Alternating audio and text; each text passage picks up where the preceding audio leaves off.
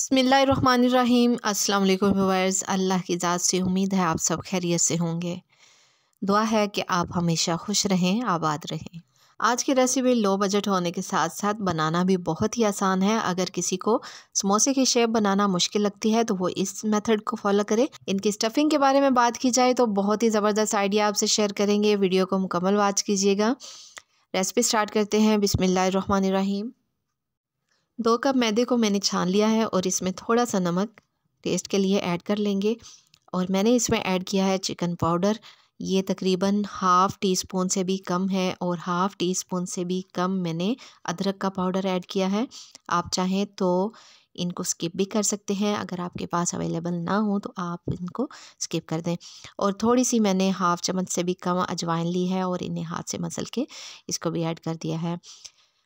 अब हम इनको अच्छी तरह मिक्स कर लेंगे।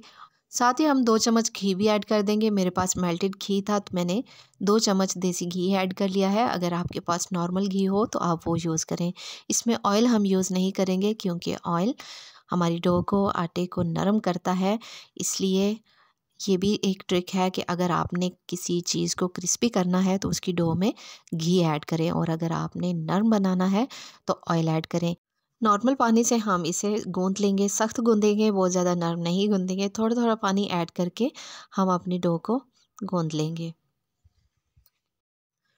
हमने अपनी डो को अच्छी तरह गूंद लिया है और इसे तकरीबन पंद्रह से बीस मिनट के रेस्ट के लिए रख देंगे।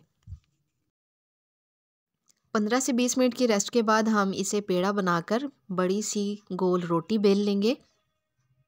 तो हम इस रोटी की मोटाई जो है, वो आम पराठे जितनी रखेंगे, चपाती जितनी नहीं रखेंगे, क्योंकि चपाती ज़रा बारीक होती है, पतली होती है तो पराठे जितनी इसकी मोटाई रखेंगे और किसी भी गोल चीज़ से प्याली हो आपके पास कप हो या आपके पास गोल सांचा हो तो उसकी इस तरह से आप कटिंग कर लें।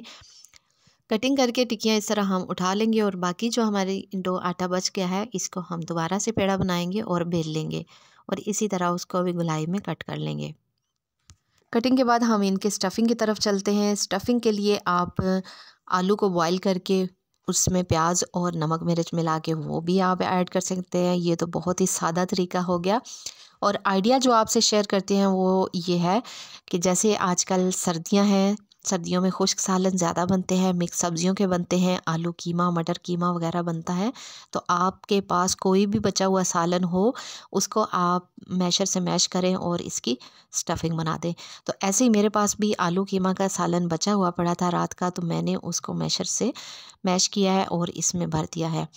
आप देख सकते हैं कि मैंने इसके गुलाई के दरमियान में रखते हुए कोनों किनारों पर पानी लगाया और इनकी इसको तकोन बनाते हुए अपने सारे समोसे तैयार कर लिए हैं।